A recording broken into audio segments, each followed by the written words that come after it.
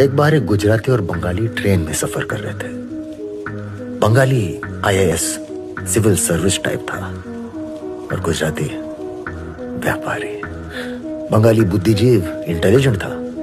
उसने एक game suggest किया कि दोनों एक दूसरे से एक एक सवाल करेंगे।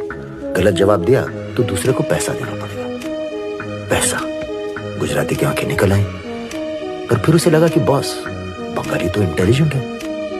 उसे तो हर जवाब आता होगा। और ये बेचारा दसवीं फेल।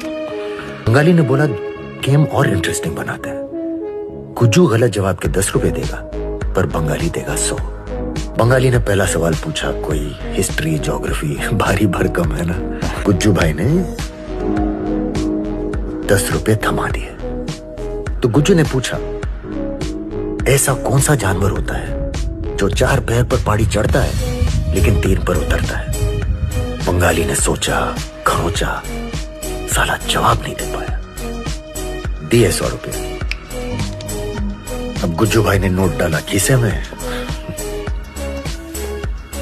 और चुपचाप सो गए। बंगाली ने जवाब नहीं पूछा? पूछा ना। पर गुज्जू भाई दस रुपए और देते बोला। मैं तो दसवीं फेल मुझे जवाब नहीं आता। मुझे सिर्फ़ धंधा आता है। अस्सी रुपया मुनाफा।